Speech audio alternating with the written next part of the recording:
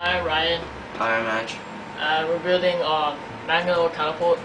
And the supplies you'll need is two one foot long, three by three fourths square f- inch wood, uh, one 10 inch, one that is 10 inches long, and five that are five inches long. You're gonna need a scrap piece of wood that we're gonna eventually cut in half for support. And then we'll use twos because there's going to be different Um, wood glue for support. And electrical staples that we'll show you later in our video. Oh, um, we need string for the uh, torsion part of the catapult. And then we also might use a hammer to, to nail the uh, to nail the nails.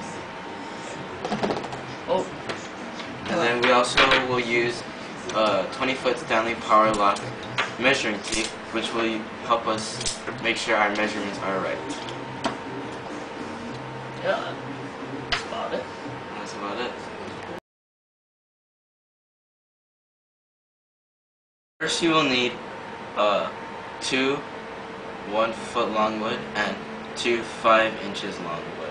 You're gonna take the scrap piece of wood and place it over the assembly like this, and we're actually gonna cut it for uh, support of And then we used a red pencil to draw our triangular line where we're gonna cut. So that way we'll know exactly how much, how long and exact the wood will be. And that is step number one.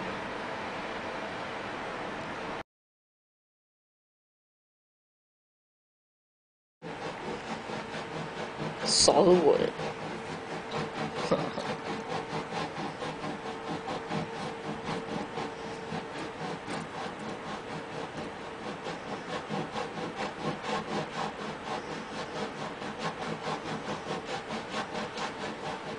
Uh,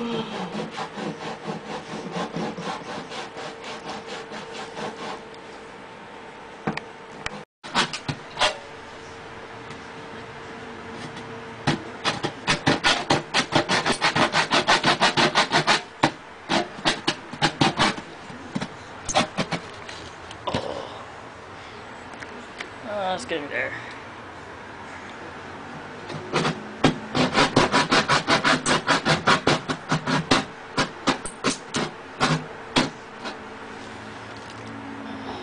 Dude.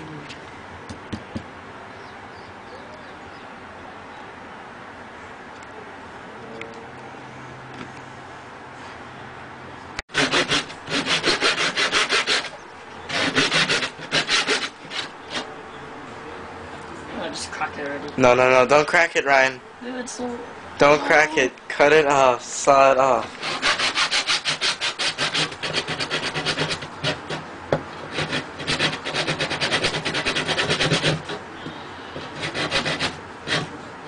Okay, I'm gonna crack it already.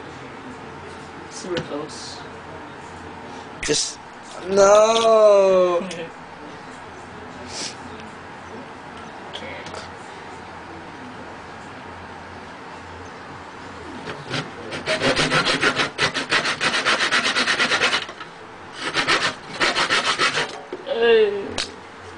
Success! Okay, we just finished sawing a whole square. It took about 25 minutes to saw it off. Very tiring. But now we have our pieces in triangular shape, red triangles. So right now we will either nail it or glue, use wood glue to make sure it is compact and used as the base of the catapult.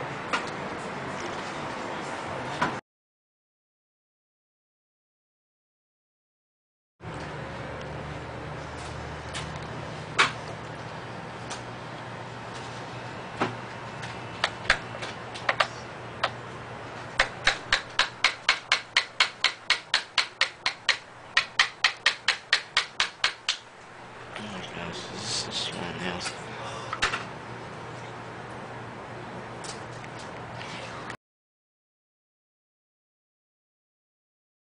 So we just got done nailing these triangular support beams into our uh, base, so we're ready to put together.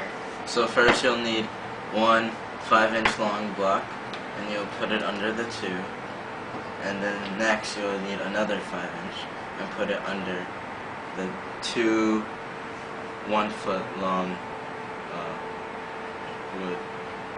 Uh, so we're gonna nail them in and that's our base.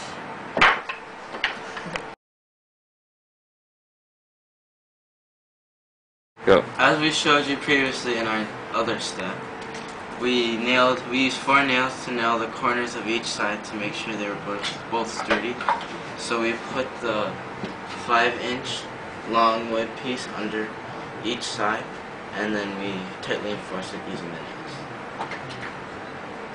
And our next step we shall use the five inch our last five inch block and uh, nail it over here so that way when the catapult goes up, it's used as a block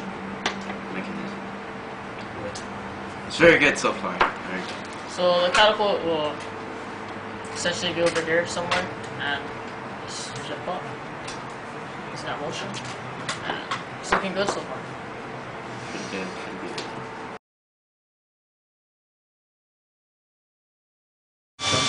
Patience, young one. Oh, it should be going through already. Do you feel it? Do you feel it going through?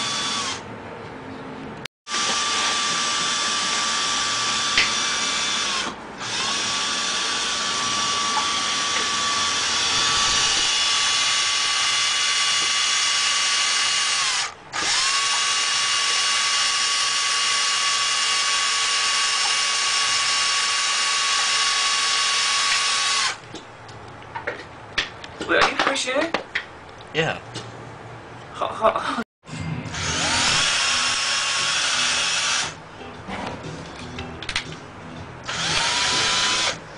Finish in about 10 seconds. Okay, so our our most recent step was we drilled a hole in over over here and here, back here, and back here, so we can put the strings through it.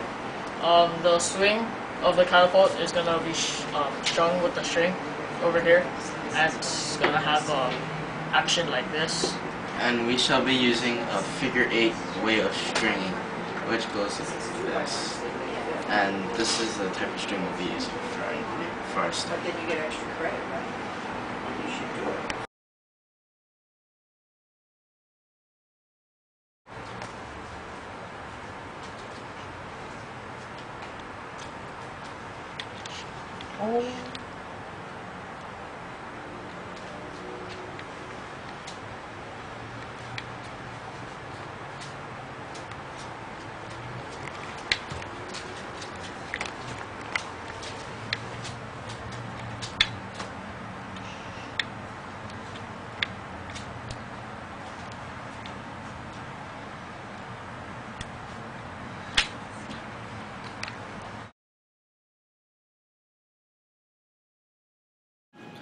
For our most recent step, we twisted the tension for the catapult spring. As you can see, we use figure eight motions in order to make it the tension really tight and gives it a really good pull to shoot it. And to show how it's been done, let's take a look.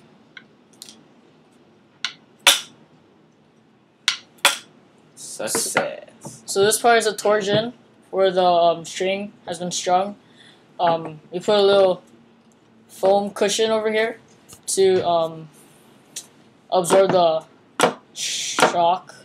Um, we uh, roped a spoon, plastic spoon, for our um, launch pad, and this piece of coat hanger will go through the electrical staples like that so it keeps back the spoon and when you pull it bam so this is our finished product and this is the Mangonel catapult And that is it.